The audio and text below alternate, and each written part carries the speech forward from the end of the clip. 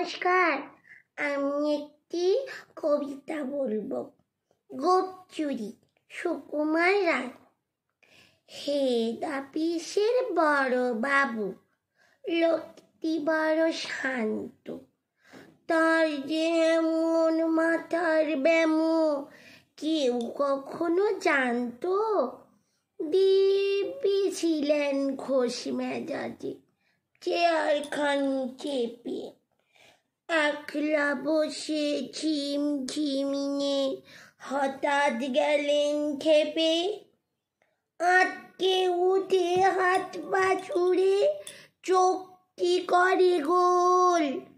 হঠাৎ বলেন, গেলুম গেলুম, আমায় ধরে তোল। তাই শুনি কেউ বদ্যি হাঁকেন কেউ বা ডাকেন পুলিশ, কেউ বা বলে কামড়ে দেবে। সাবধানিতে তুলিস। ব্যস্ত সবাই এদিক ওদিক করছে ঘোরাঘুরি। বাবু বলেন, ওরে, আমার গোপ গিয়েছে চুরি গোপ হারানো আজব কথা তাও কি হয় সত্যি।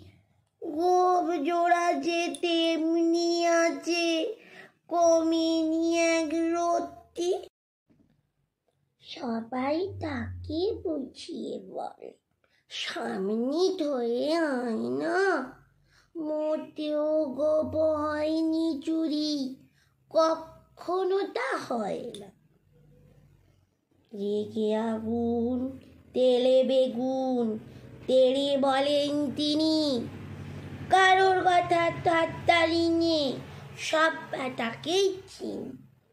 নোংরা ছাঁটা খেংরা ছাঁটা বিচ্ছিরি আর ময়লা। এমন গুপ্ত রাখতে জানি শ্যামবাবুদির গয়লা।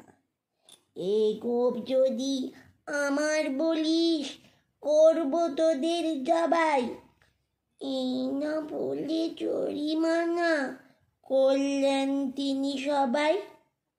ভীষণ রেগে বিষম খেয়ে দিলেন লিখে খাতায়।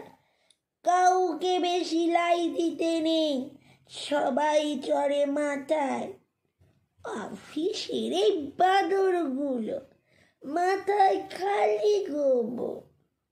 কব চোরাটি কোথায় গেল?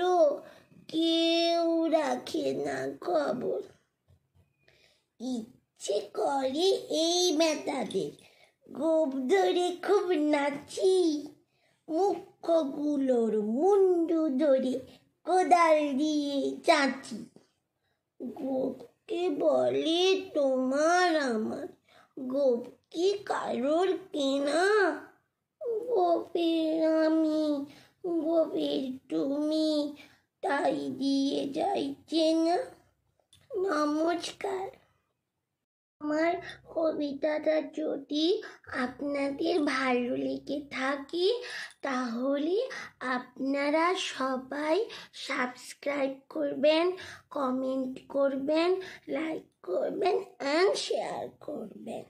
টাটা, বাই বাই আপনারা সবাই ভালো থাকুন, সুস্থ থাকুন।